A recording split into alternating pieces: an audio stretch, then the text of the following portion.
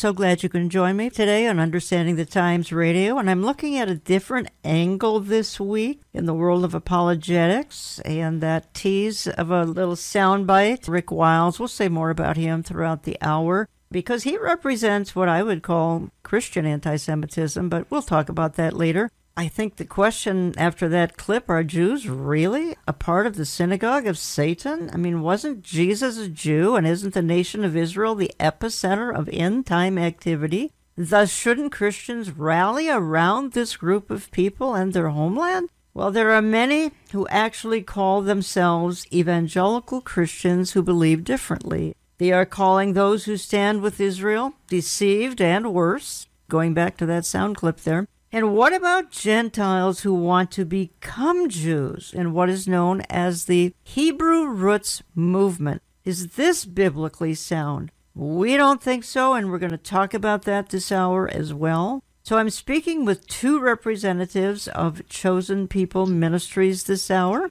Trevor Rubenstein and Olivier Melnick. Trevor headquarters here in the Twin Cities. Olivier is headquartering in Texas. I'm going to play a number of sound bites as well to complement our discussion, and some of them are troubling. I want to be frank. I would say they're not disturbing, but they're troubling. So just be prepared for that as I play them throughout the hour. Trevor and Olivier, welcome to Understanding the Times Radio. Thanks for having us, Jan. Thank you, Jen. Good to be on your show. Trevor, let me start with you. Why don't you give us sort of the Reader's Digest version? How did you, as a Jewish unbeliever, come to faith? I'm from the Iron Range of Minnesota, like yourself. Was born and raised in a conservative Jewish family. When I was young, we moved to Colorado. I was a troubled kid. I had issues. I was involved with let's say, recreational pharmaceutical test engineer is probably what I was doing most of in my high school years, unfortunately, and ended up getting kicked out of school, in which case I went to a local community college and I was tricked into a Bible study. I say this because I wouldn't have participated in one being Jewish myself and understanding it's something we can't do. In this Bible study, we read the words of Jesus for the first time, and it was also the first time I ever felt the presence of God. Really, three things became very apparent to me, one of which was everything that I was doing in my life was separating me from God. Another thing was that God was even real because I was an atheist at this mm. point in time. And the other thing was that the only way I can come to know him is through this person, Jesus. After struggling with this for a little while, I eventually gave my life to him. At which point, Jan, he removed a lot of troubles I was having. I was suicidal. And so God really saved my life. And so for me, Jesus was the difference between life and death. And so my goal and my hope and my focus was to introduce other people to him not just in a physical sense, but obviously in an mm. eternal mm. one also.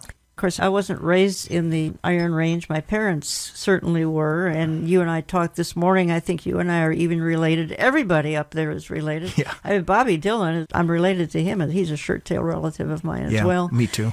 Olivier, yourself, how did you come to faith? This was in the mid 80s. I had met my American wife in California, and then fell in love and then she, she came to france and she started to witness to me and she gave me the messianic prophecies i was born in france of a jewish family my parents survived the war my mother survived the holocaust and hid on a farm in the south of france they lost their faith in God. So this is how I was raised up. And my wife came to me. She said, you know, she started talking to me about Jesus. And I said, I'm Jewish, you're a Gentile. Can we just agree to disagree? Mm-hmm. That just didn't work. She insisted, and eventually she gave me a book on prophecy titled The Late Great Planet Earth by Hal Lindsey. And I read that book and I got to the place about the rapture and I got really scared. And I thought, well, this is kind of stupid thing that she believes, if that's true. But just in case it's true, so I asked her, I said, you really believe in that? She said, yes, I don't have the details, but that's exactly why I don't want to marry you right now because I don't want to be separated from you.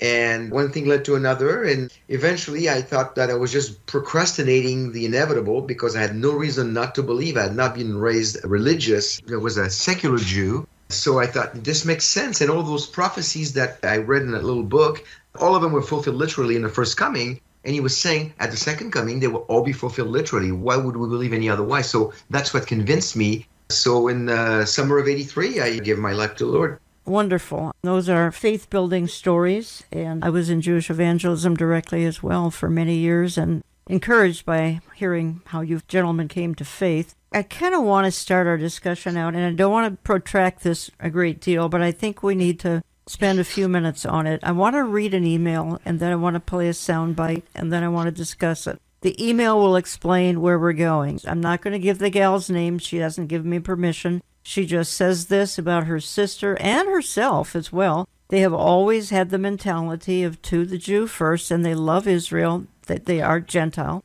And she says, My sister has been struggling this past year with different aspects of what should she be doing in her walk with the Lord concerning at what level does she need to be participating in her walk as if she were Jewish. Now, she's not, okay? She continues, she observes Shabbat and serves dinner with all of the appropriate accoutrements. She recently read some article that if a Christian does not follow all the laws in the Torah and keep all the feasts, that they will not have salvation. She says, I told her Paul had that discussion with the other disciples and asked, why would we put the Gentiles under the same bondage we were just freed from? The email goes on, but you can understand here's one sister who's not into Hebrew roots, so concerned about the other sister who is into Hebrew roots. Let me play a quick soundbite. It's apologist Mike Winger, and I was intrigued. He does YouTube question and answers one of the top questions he gets is what is this Hebrew roots? You asked for me to look into the Hebrews roots movement right there. I actually asked you guys last year towards the end of the year what was one topic you wanted me to cover, wanted me to talk about, wanted me to spend some time researching, and this is the thing that got the most votes from you, your votes to say, "Hey, put this on the top of your list, Mike. And so I have. I've put it on the top of my list and I'm ready to actually talk about it now. Um, at least this will be the first video. I'll probably do one or two more on this topic because I think it just has to be done. There's so much to talk about. So, in short, what is the Hebrew roots movement? What am I talking about? What is this about today? Um, the Hebrew roots movement is a growing movement of people, generally speaking, not Jewish people. So I say Hebrew roots. It's not about Jewish people here. They're um, they're mostly Gentile believers who are are many of them, most of them believe in Jesus, um, who think that they should obey the law of Moses. If, if there's one theme that goes through the entire Hebrew roots movement, it's you should obey the law of Moses to the best of your ability. Um, now, some of them are Christians who think that it's a good idea and it's desired. God simply wants us to obey the law of Moses, and they might call themselves Hebrew roots, or they might use the term messianic, or they might use another. They have lots of different terminologies they use. I don't think it's important to memorize those right now. Um, that's one group. It's just desired. Another group within the group says it's necessary for salvation. Like if you don't do this, you will not be saved. Okay, that's a group within the group. They think it's necessary for salvation. Then there's another group, and they not only do they think it's necessary, they reject the Apostle Paul and anything he wrote in the New Testament. They consider it not scripture. So they chuck the majority of the letters of the New Testament. Um, then within that group, there's also another group that is those who actually reject Jesus himself. Okay, so this is not monolithic. I can't say this is Hebrew Hebrew roots and just give it one label because within the big broad spectrum there's this sort of disorganized developing group where there's some who are believers who think they should obey the law of Moses and others who are apostate, they're not Christians, they reject Jesus Christ. So this is difficult to talk about because I can't just um say Hebrew roots is this because those within the movement will not agree with me. Um, so I'm going to take the one commonality of, of the entire Hebrew roots movement, and the commonality is the idea that um, we ought to obey the law of Moses. Some will say it's more than ought, but they will all agree that you should obey the law of Moses as um, as as a believer in God today. Olivier Melnick, you've been in Jewish evangelism a good number of years. We all know Jesus came to fulfill the law and the prophets. Help us understand the thinking of those in this movement. I like what this gentleman was saying that it's not monolithic. Yes. I think it's important to understand that because once you understand that, it helps you not paint with broad strokes. Uh, there's a lot of people that I meet in all the places that I speak at in the US they come to me and they tell me either what do you think of or I'm part of and I like it. Should I do this? Should I do that? So some people are part of the Hebrew roots movement because they just want to discover more about the Jewish perspective. And but some people are pushing something that I think is not biblical. When somebody says we have to be under the Mosaic law, I think they're basically don't understand what grace is all hmm. about. Mm. Now, I love to celebrate Passover, but I don't do Passover because I'm under the law and I'm supposed to. I couldn't do it according to the law because we don't have a temple to do sacrifices. But I do it because it points to something that Jesus did, and there's a connection, typologically speaking or prophetically speaking. So there's nothing wrong with doing some Jewish things. Sure.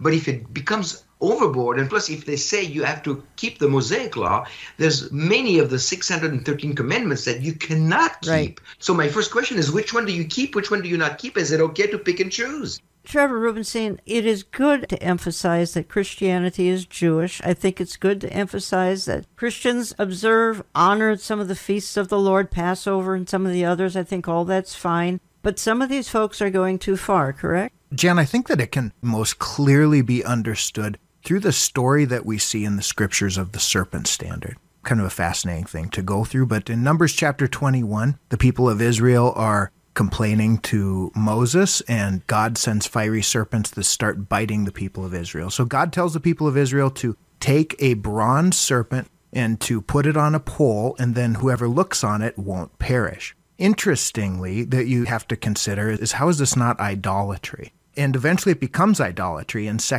kings chapter 18 at the very beginning it states that hezekiah had to destroy the bronze serpent because the people were worshiping it and there's actually a third mention of the bronze serpent. It's in John 3:14. It says, "For just as Moses lifted up the serpent in the wilderness, so too must the Son of Man be lifted up, that whoever believes in him shall not perish but have everlasting life." So, much like the Hebrew scriptures, the bronze serpent all points to Jesus. It did from the beginning. The serpent, a symbol of sin, put on a pole, possibly showing judgment to sin, the end to sin. It always pointed to Jesus. So, as long as those things are focused on Jesus in themselves, it can be healthy. The problem becomes when the item that was intended to point to him becomes the focus opposed to the Lord himself. Okay. And this is a real issue. And sometimes, Jan, when this happens, it becomes incredibly detrimental, as the individual was stating. There are Gentiles that are converting to Judaism in large numbers. In my last communication with a local Orthodox rabbi, he said they can't even handle the amount of Gentile converts because they're becoming so enamored with the Mosaic covenant where the Mosaic covenant is beautiful, wonderful, of course, as Paul says. It's a good thing. The problem is when that's the focus as opposed to whom it was always intended to point to Jesus, the Word of God brought to life. You're listening to Understanding the Times Radio. I'm Jan Markell. I have in studio Trevor Rubenstein from Chosen People Ministries. On the line from Texas is Olivier Melnick, and you can reach Olivier at newantisemitism.com newantisemitism.com. You can reach Trevor at T. Rubenstein at chosenpeople.com. T. Rubenstein at chosenpeople.com. Oh, I have so much in my list of notes here. I think what I'd like to touch on real briefly here is the fact, Trevor, that you have told me that in your experience here as a missionary, that you are encountering Jewish people more open, at least open to listening to what you have to say, more open to the message of the gospel. What do you think has changed? Because that has not always been the case, and I know from personal experience that has not always been the case. Yeah, and Jan, ever since COVID hit, a lot of Jewish people are starting to think about things other than the things of this world in a way that maybe they weren't previously because it's being promoted as that it's going to kill everyone. So people are thinking about death. And then also, it's letting people realize that they can't trust in the things of this world. And so, yeah, we're finding a lot of openness. But, Jan, statistically, what's happening nationally with the Jewish people is even more fascinating than what I'm experiencing personally. Although I'm having more success in the last two, three years of Jewish outreach than I've had in the previous 10 or so years of my doing this work. I want to play one more clip. It's about what we're talking about. And then, Olivier, I want to come back and have you address it. Now, let me introduce the clip by saying this. We're talking here heavily, at least in this segment, about reaching Jews for Jesus. And that has been a challenge. I can speak to that personally because I did that for a number of years, less so at this point in time. And that it is a challenge indeed. But then there is the camp that says, you know what? The Jews don't need Jesus because they're automatically saved. The theology behind that is called dual covenant theology. And I'm going to play a clip of a Twin Cities pastor who does teach this. You'll hear this in this clip. And then I'd like your feedback, gentlemen. But here's the point the precedent was set. And God is the same yesterday, today, and forevermore. Amen. Somebody who believes their covenant, that old covenant, they're the seed of Abraham through Isaac, and they believe. And just like Abraham, you know, that belief was counted unto him as for righteousness' sake, and he was saved. Somehow, the Jews that have been believers, that have met the definition of Israel here, that have died over the last 2,000 years, either somehow got to meet Jesus already or they're gonna. Because he said, all Israel will be saved. Well, this is part of the mystery that hasn't been revealed to me. I don't know how to tell you it's going to happen. Maybe Abraham's bosom's still open. Maybe once more he'll lead captivity captive when he comes the second time. I don't know. The word doesn't tell us that. But I do know the precedent has been set. He's going to take care of them. If they were believers, he isn't going to let them die and go to hell. This means it is not up to the church to evangelize the Jew. A lot of people will say, well, they're going to go to hell if we don't go get them. That's not what the word says. What are you going to believe? Dead church tradition or the word of God? Choice is yours. But the word says they're all going to be saved. I don't know how. I've got some suppositions. I mean, it's possible if Abraham's bosom is closed, then in the last day or two before they die, God gets somebody in front of them and they get saved. Or it could be they have a deathbed experience with the Lord. Who knows? God is God. He just said all Israel will be saved.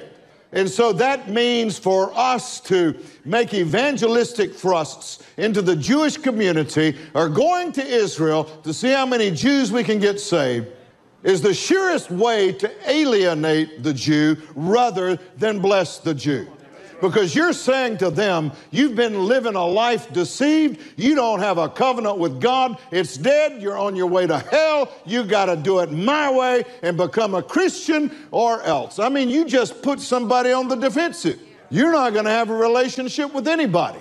And it's not necessary because all Israel will be saved. Now, I would say eight out of 10 theologians you took this sermon to would say, I'm full of bunk. So you're going to have to read this for yourself, decide for yourself. But this is the way I see it. Nothing is more offensive to somebody than to suggest the covenant that they grew up believing they have with God really is non existent. It's not a valid present day covenant. You have just alienated them big time.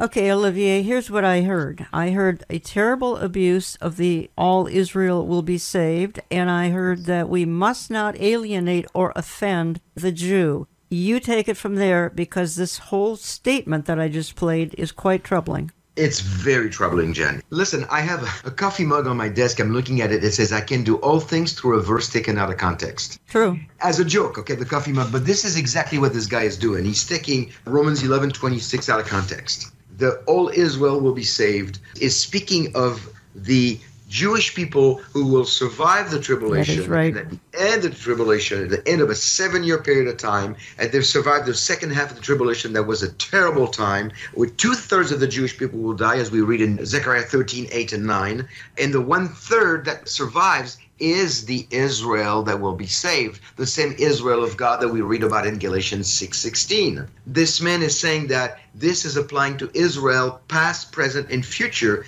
but there's no ground for that, especially if you look at John 3 when Nicodemus comes to Jesus at night and tells him what this guy is trying to tell us hey, I'm a super Jew here. I'm a rabbi. I'm a head of a school of a Jewish academy. I'm a part of the Sanhedrin. I mean, it doesn't get more Jewish than me, so I'm in. And Jesus says, no. You got to be born of water, physical birth, and born of the Spirit. You have to be born again to be able to be part of the body of Messiah. So this all Israel will be saved is completely taken out of context and it's used to shy away from sharing the gospel with the Jewish people. And Jan, I don't know to say it any other way than that, dual covenant theology is at the very least, soft anti Semitism because the people are saying, well, we love Israel, we love the Jewish people, let's not bother them. They're in because of their lineage to Abraham, Isaac, and Jacob. So it's like hugging a Jewish person as you push them closer to the edge of the cliff and you push them down to their death without sharing the gospel with them. It's anti Semitism. It is. I'm glad you said it. That's very blunt and very true. And there's a significant number of pastors teaching this. This happened to be a local Twin Cities, Pastor Mac Hammond. I've played the clip before, and Pastor Hammond, you are welcome in the studio anytime to come and talk about this, and we'll have a friendly discussion rather than an argument and talk about it theologically speaking. Trevor, you want to weigh in? Yeah, it's interesting. Just even two chapters earlier, Paul in Romans chapter 9, verse 3 says, I wish that I myself were accursed from Christ for my brethren, my countrymen, according to the flesh, who are mm-hmm. Israelites. He's saying that he would rather go to hell so that they could be saved. Why would he say that if they're all currently saved? And even the thing he's quoting of is future tense, which of course Olivier elaborated on. And Trevor, you sent me some statistics earlier today. Let me just read a paragraph from Pew Research. A lot of the stats you sent me were intriguing, but this says overall, about a quarter of U.S. Jewish adults, or almost 30%, do not identify with the Jewish religion. They consider themselves to be Jewish ethnically, culturally, by family background, have a Jewish parent or they were raised Jewish, but they answer a question about their current religion by describing themselves as, get this, folks, atheist, agnostic, or nothing in particular, rather than as Jewish. Among Jewish adults under 30, 4 in 10 describe this way. So, Trevor, 4 in 10, at least of the young people, say they're atheist, they're agnostic, they're nothing in particular how does this affect you witnessing to them? yeah, them? Jan, it's been fascinating, actually. We're seeing a greater openness to the possibility of the gospel amongst the Jewish people, particularly the young ones, as a result of this. There's something happening in the Jewish community. In this same document that Pew Research released from 2020, they made the statement that 19% of the American Jewish community now considers themselves Christian. So it's really opened up the gospel. This is fascinating and it's unprecedented. We've seen times where there's been increase of Jewish people coming to faith. This happened actually right before World War II, interestingly, as Mitch Glaser did his dissertation on. And we saw this during the Jesus People movement. But during these times, there were increases of faith amongst the general populace. But what's happening here is we're seeing an increase of faith amongst the Jewish population. Like I said, 19%. This is unprecedented in America of the Jewish population professing to be Christians at the same time where we're seeing the general population of faith decline. Never seen this before, Jan. Olivier, you weigh in here. The only thing that I want to add to that is that as I'm doing quite a bit of work with our French team, even though I'm remotely here from the US, being on the board, we're seeing similar things happening, especially in the south of France. For the last few years, of course, nothing has been happening much, but one of our workers is in the town of Marseille in the south of France. Just the last couple of days, I talked to him several times, and he said that he could not believe the amount of conversations he's been having with Jewish people interested about hearing about the gospel and very inquisitive and a lot less argumentative than they used to be in the past some folks may be asking, why are we even having this conversation? Let me just cite a couple of Bible verses. Galatians 3:28. There's neither Jew nor Greek, there is neither slave nor free, there is neither male nor female, you are all one in Christ. We're talking believers here. Another 1 Corinthians 12:13 For by one spirit we were all baptized into one body whether Jews or Greeks slave or free we were all made to drink of one spirit all one in Christ. Again, this is referring to believers. So going back to Hebrew roots, if we're all one in Christ, we're all one in Christ. It's simple as that. First of all, the section of scripture that says that there's no longer Jew nor Greek, free nor slave, male nor female, we know there's still male and female. And so the distinction still exists. But what's fascinating about that section of scripture in particular is most Gentiles who read it don't recognize that a Jewish person prays multiple times a day, thanking God that they're not a Gentile, that they're not female, and that they're not a slave, so that they can fulfill all of the law. So, what Paul is directly addressing is that salvation's available to everybody. It doesn't matter what your otherwise seeming physical distinctions might be, salvation's available to all of humanity. And that's really the point that he's making. So, what does this matter? Well, there's incredible significance regarding Israel. If you want to find out where we are in the historical timeline for the times that we're in, it always makes sense to look towards Israel.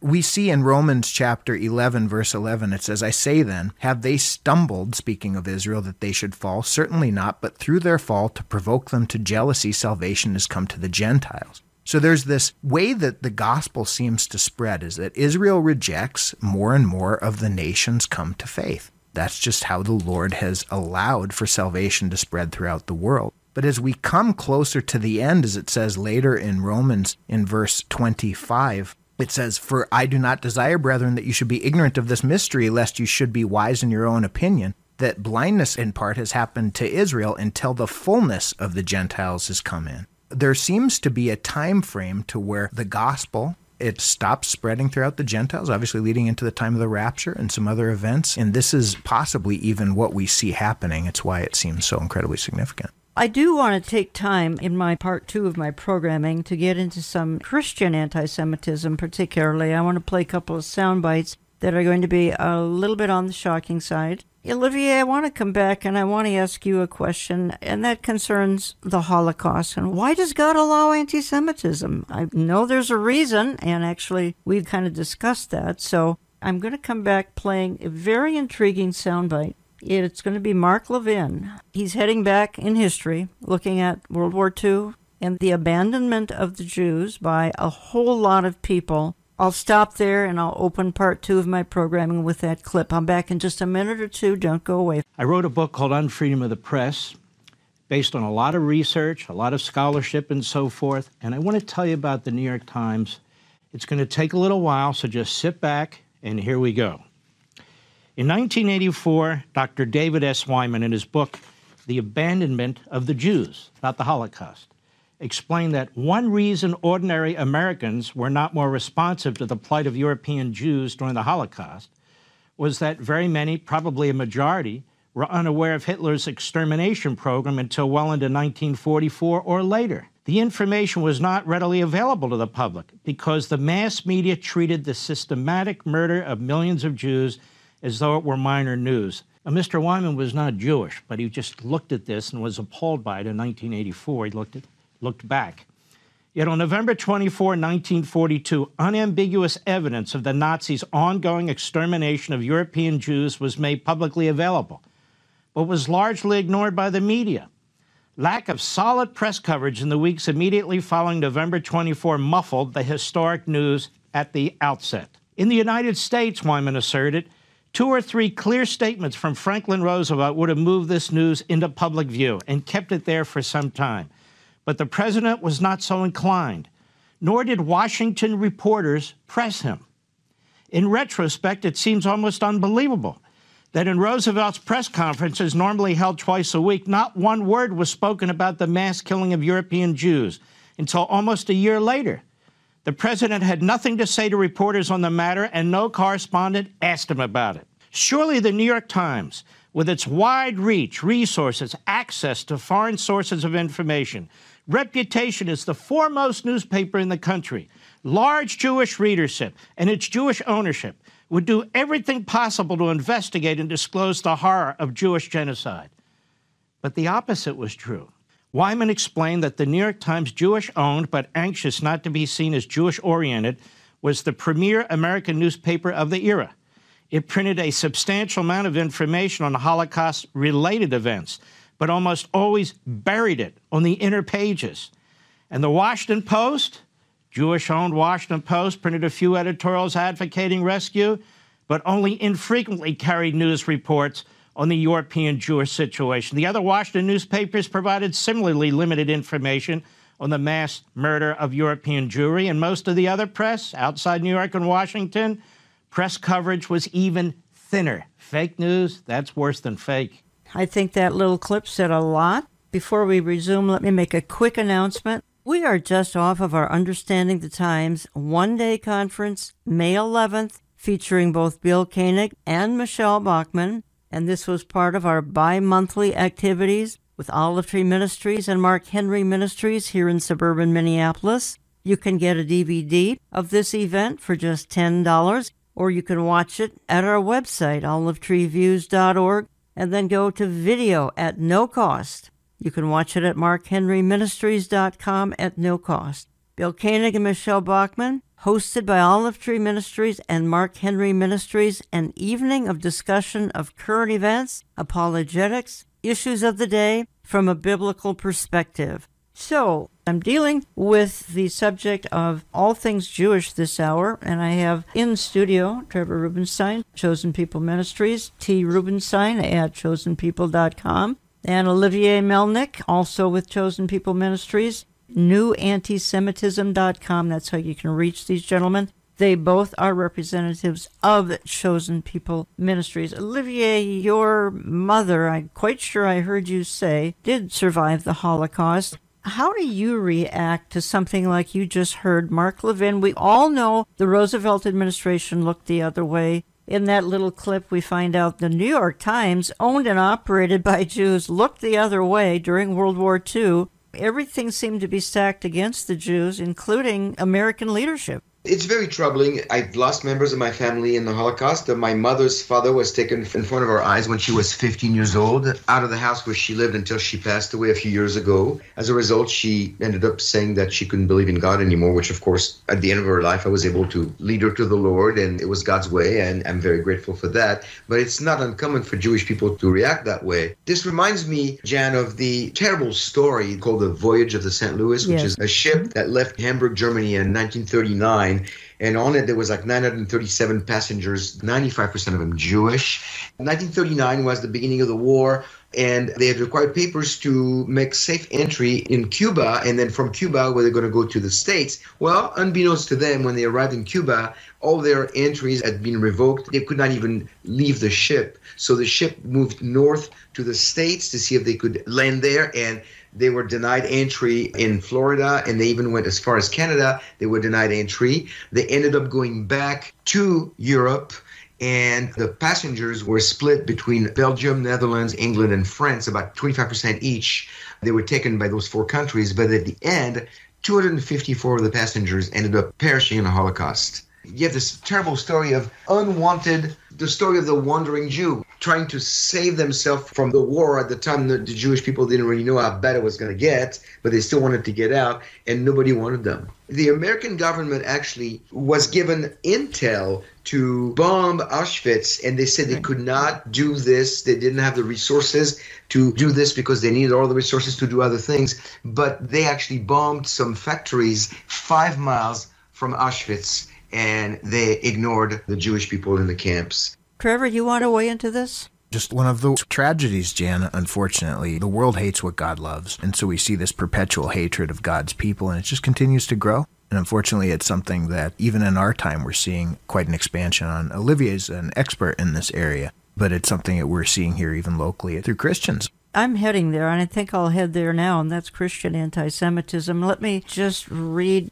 Some of our listeners are aware of this, and others get quite upset when it's brought up. Martin Luther hoped initially he would attract Jews to his Protestant faith, understanding that they could not accept the superstitions and persecution of Rome, but when they rejected his attempts to convert them, he turned on them and uttered words of hatred, words used by the Nazis in their propaganda. What shall we Christians do with this cursed, rejected race of the Jews? This is Luther talking. First, their synagogues should be set on fire. Secondly, their homes should likewise be broken down and destroyed. Thirdly, they should be deprived of their prayer books and their Talmuds. Fourthly, their rabbis must be forbidden under threat of death to teach any more. Fifthly, passport and traveling privileges should be absolutely forbidden to the Jews. Sixthly, they ought to be stopped from usury. Seventh, let the young and strong Jews be given the flail, the axe, the spade, the distaff, and the spindle,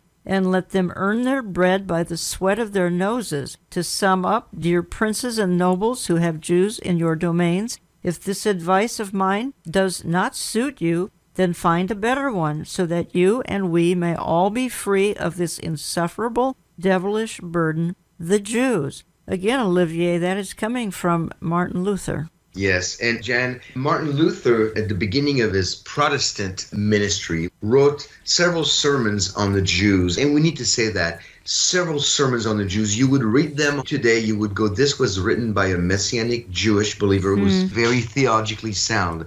Beautiful sermons on Romans and the Jews. And then he turned. We could spend the rest of the show trying to speculate on why he turned. What we need to understand is not so much why he turned. Was it old age? Was it anti Semitism? But the point is that he said it.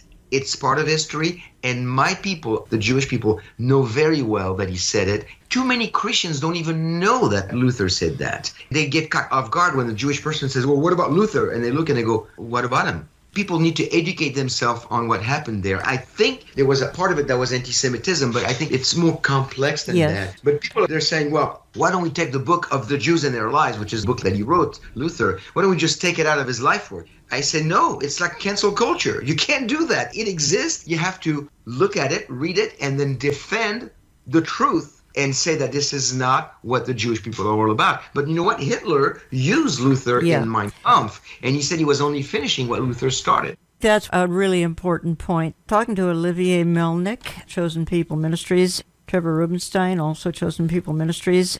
I want to play a couple of clips, and I opened the whole hour emphasizing some ministries. And one is this TruNews, Rick Wiles. I want to play a very short clip of Rick, and then I want to play just a little bit longer one of his cohort, Doc Burkhart. The real reason they won't say anything is because the real agenda is Israel. Mm-hmm. And they're not going to jeopardize their standing with the White House to get things done for Israel.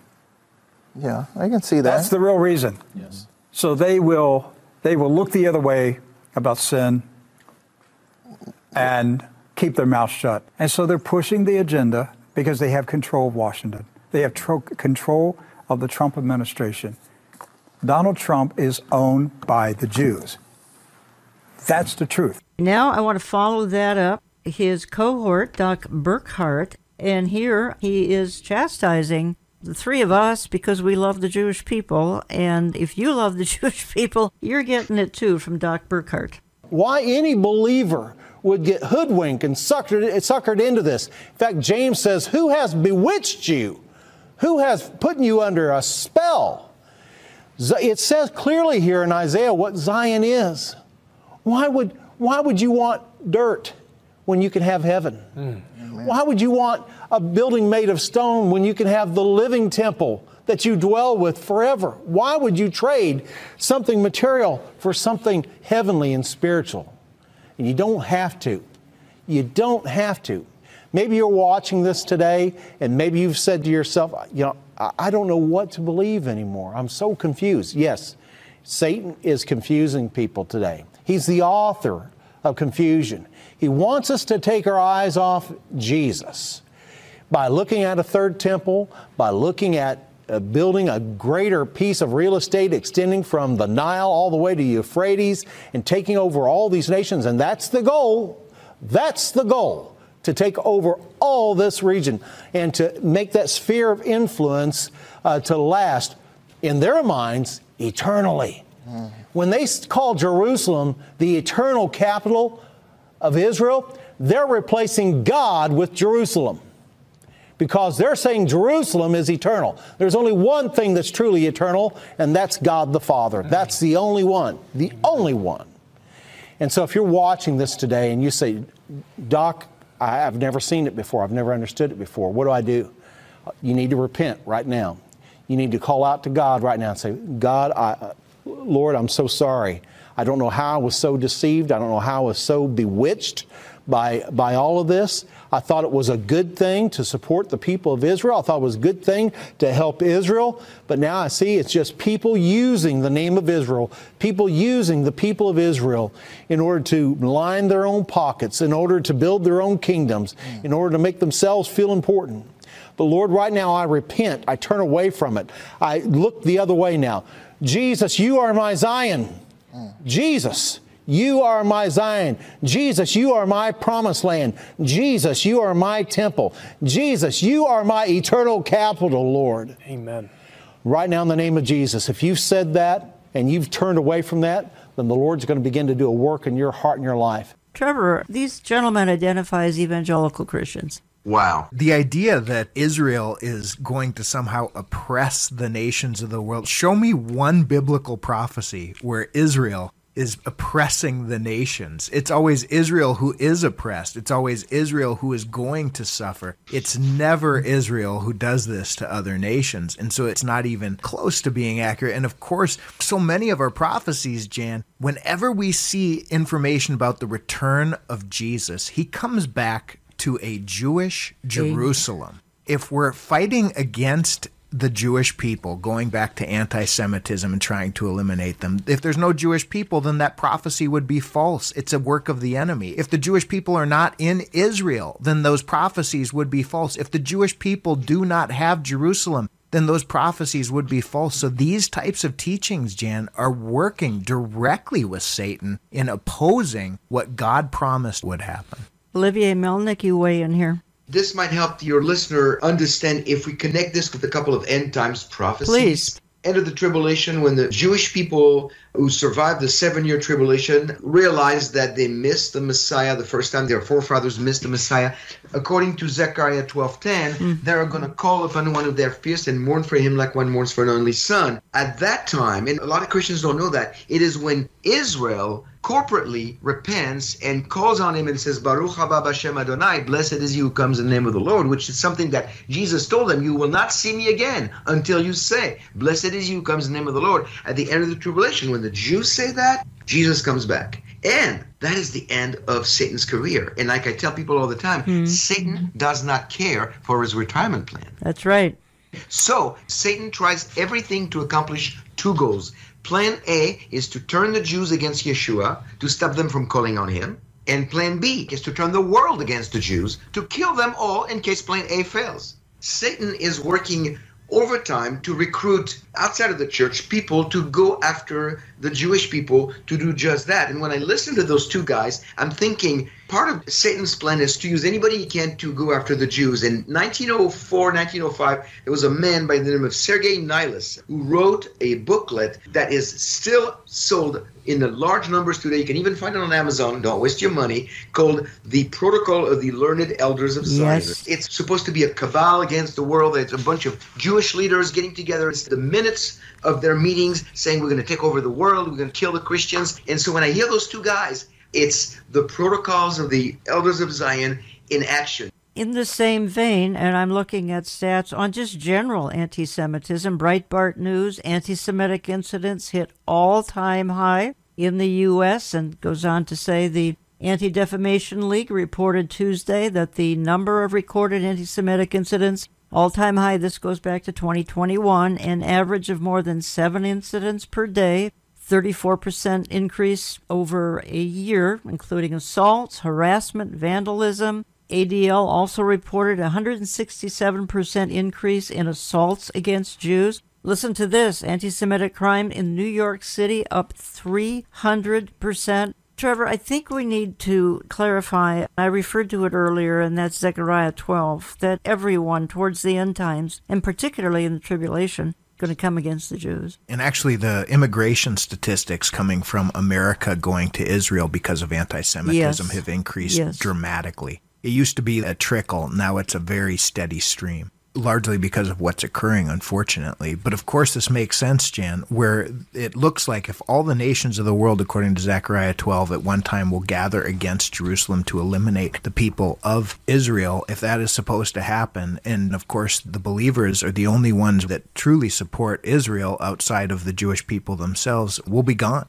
And who's going to be left to defend them? One of you made the statement that God allowed the Holocaust out of the Holocaust came the nation of Israel, rebirth of Israel. And out of all of this anti Semitism, and maybe it was you, Olivier, they're heading to Israel, correct? Yeah, and Trevor has given a lot of numbers from the U.S. and then I work with the U.S. but also with Europe. In France, for instance, I believe in the last 15 years, from my own research, there's about 10% of the French population, which at the time was mm-hmm. about 500,000, which is the third largest in the U.S. Israel, U.S., and France as far as the Jewish communities, and 50,000 Jews moved to Israel. It's really started in large numbers in 2015 after the kosher supermarket attack on right. the edge of Paris and they continue to go. And it's difficult even for me to say, but is it possible that God would allow anti Semitism so that the Jews would go back to the land in preparation for the end times? Oh, yes, I think so. That may sound extreme, but yes. There's something that I want to say that all three of us would agree that we are in the final minutes of the 11th hour. Amen. So we know the next event is going to be the rapture. It's signless. We don't know. It's imminent. It could happen during this program. We don't know when. But here's the thing when I talk to people who love Israel and who love the Jewish people and they don't know what to do, they go, How do I, what do I do to reach the Jewish people? I say, Listen, any Jewish person you talk to, Jewish male in particular, that you talk to, you might be planting a seed in their head, in their heart, and then they will not make it in the rapture, but they could be one of the 144,000. Yes. So don't think that you're toiling in vain when you talk to Jewish people. Share the gospel. They need to hear it. And if they're rejected, they could be one of the 144,000 world evangelists that will do a great work for the kingdom after we're gone. Trevor, you want to weigh in there? So, what we have going on here as we see the anti Semitism increase is we see more and more Jewish people coming yeah. to faith, as we see a decline of faith amongst the Gentiles, at least in this country. It all seems to be pointing, Jan, that we're getting so close. Sometimes we looked at other things as to see what time frame are we in, how close are we to the end times. But God's timetable, like I said, is always Israel. And this is so telling with all of the statistics that we're seeing. You are listening to Understanding the Times Radio. Jan Markell. Have in studio Trevor Rubenstein from Chosen People. You can reach him at trubenstein at chosenpeople.com. You can reach my other guest, Olivier Melnick, at newantisemitism.com. Both of them represent Chosen People Ministries. You know, Trevor, some people comment that Christians care more about Israel than the Jews do. Do you encounter that? It depends, Jan sometimes American Jews,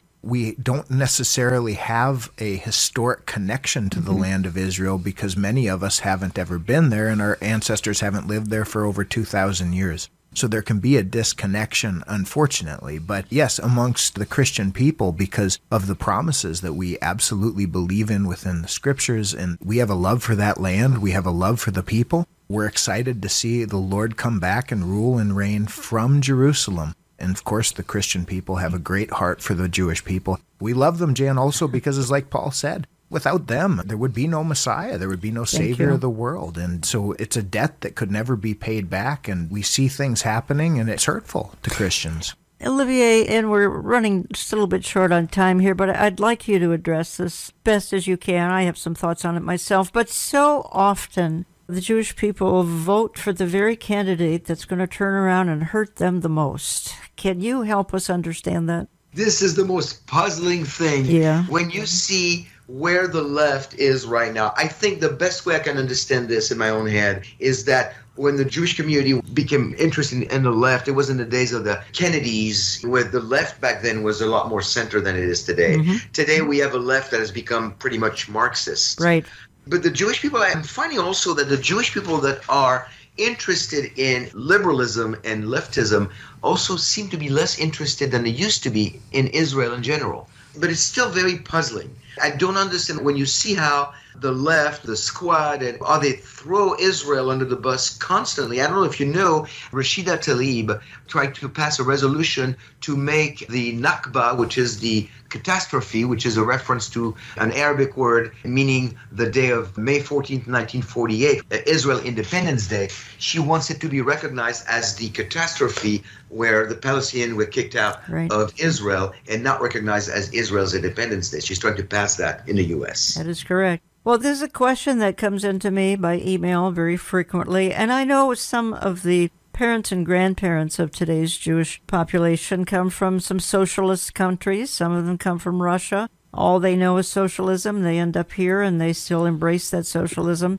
It's just puzzling because today's left, other than perhaps a Joe Manchin or a few that are more centrist, they hate Israel and they hate the Jews, and yet Jewish people vote for them almost every election. Any comment, Trevor? Jan, we're actually seeing a change in that. I'm glad you brought yeah, that up. So, still, the majority of Jewish people are, as far as their voting record, very left leaning, but that's declining. As we're seeing an increase of religion amongst the Jewish people, what I mean by that is there's less Jewish people that consider themselves religious, but there's more that consider themselves orthodox. Also, there's more Jewish people that now consider themselves believers in Jesus as we're seeing an increase of that, those people, Jan, that are prescribing to specific moral values and are prescribing to the importance of Israel, they are becoming more and more conservative. So we are seeing that. And then even evangelistically, and this was fascinating, if a Jewish person finds themselves more conservative leaning and they don't want to be Orthodox, they find it hard to be involved with a community that isn't left leaning. So mm-hmm.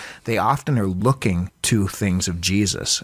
Olivier and I am down to about a minute, minute and a half. But if you had that minute and a half and you were to talk face to face with a pastor right now, what would you tell him? God is certainly not done with Israel. We have not even discussed replacement theology. That is right. Two thirds of Christians today believe that the church has replaced Israel. Thank you for So inserting that. That is important. I, I would tell the pastor, listen, my Bible tells me that God is not done with Israel. As a matter of fact, this program is going to resume with Israel very soon, and we need to do everything we can to take as many Jewish people with us before the rapture as we possibly can. And that's the only way to do it is not to recognize they're descendants of Abraham, Isaac, and Jacob, is to recognize that, like everybody else, they're sinners who need to be saved by the blood of Yeshua on the cross. I think both you gentlemen would be encouraged if the church would address some of the issues we're talking about today, including witnessing to the Jewish people. And Romans chapter 10 is addressed specifically to Israel, and it is the section of scripture that says, How will they know unless we tell them? There's an interesting statistic that came out done by Lifeway where they said that the same amount of people that pray for the salvation of Jewish mm-hmm. people is about the same percentage of people that share the gospel with Jewish people. I want to go out of the program with a little saying I learned years ago, don't remember where.